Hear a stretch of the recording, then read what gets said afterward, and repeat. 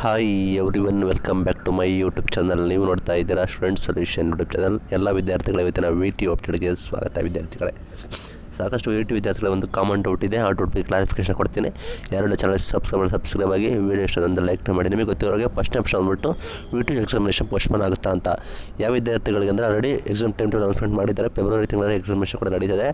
But February ತಿಂಗಳಲ್ಲೇ ನಿರ್ಣಾಯಕ ಅಂತ ಹೇಳಿ ತಜ್ಞರು ತಿಳಿಸಿರೋ ಪ್ರಕಾರ ಫೆಬ್ರವರಿ ತಿಂಗಳಲ್ಲೇ ಕೋವಿಡ್ ಕೇಸಸ್ ಕೂಡ ಹೆಚ್ಚಳ ಸಾಧ್ಯತೆ ಅದಕ್ಕೋಸ್ಕರ ವಿ ಟಿ ಎಕ್ಸಾಮಿನೇಷನ್ ನಿಮಗೆ ಪೋಸ್ಟ್ಪೋನ್ ಆಗ್ತದೆ ನೀವು ಕೇಳ್ತಾ ಇದ್ದೀರಾ. ಬಟ್ ವಿ ಇಂದ ಯಾವುದೇ ಅಧಿಕೃತ ಮಾಹಿತಿ ಬರ್ತಾ ಇದ್ದರೂ ಕೂಡ ಫೆಬ್ರವರಿ ತಿಂಗಳಲ್ಲಿ ಸೋಂಕು ಹೆಚ್ಚಳ ಕಾರಣ ಮೋಸ್ಟ್ಲಿ ಪೋಸ್ಟ್ಪೋನ್ ಆಗೋ ಸಾಧ್ಯತೆ ಜಾಸ್ತಿ ಇದೆ. ಯಾಕಂದರೆ ಫೆಬ್ರವರಿ ತಿಂಗಳು ನಿರ್ಣಾಯಕ ಅಂತ ಆಗಿರೋ ಕಾರಣ ಆಗ್ಬೋದು.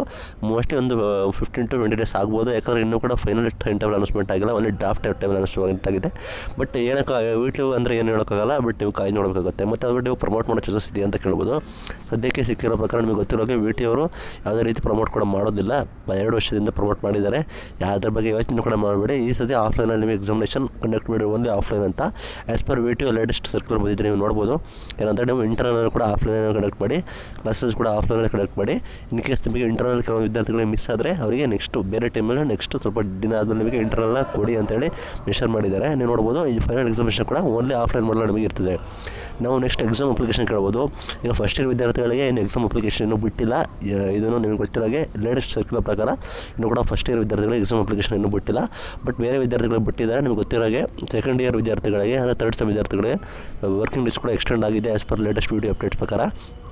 ನಂತರ ಅಂದ್ಬಿಟ್ಟು ತರ್ಡ್ ಇಯರ್ ಮತ್ತು ಫೈನಲ್ ಇಯರ್ಗೆ as usual exam application apply ಮಾಡಬೇಕಾಗುತ್ತೆ, ನಿಮಗೆ ಗೊತ್ತಿರೋ ಹಾಗೆ. ನಂತರ ಅಂದ್ಬಿಟ್ಟು ಎಕ್ಸಾಮಿನೇಷನ್ ಪೋಸ್ಟ್ಪೋನ್ ಆಗೋದ್ರ ಸಾಧ್ಯತೆ ಜಾಸ್ತಿ ಇದೆ. ನೆಕ್ಸ್ಟ್ ಫ್ಯೂಚರಲ್ಲಿ ನೋಡೋಣ ನೆಕ್ಸ್ಟ್ ಏನಾಗುತ್ತೆ ಅಂತ.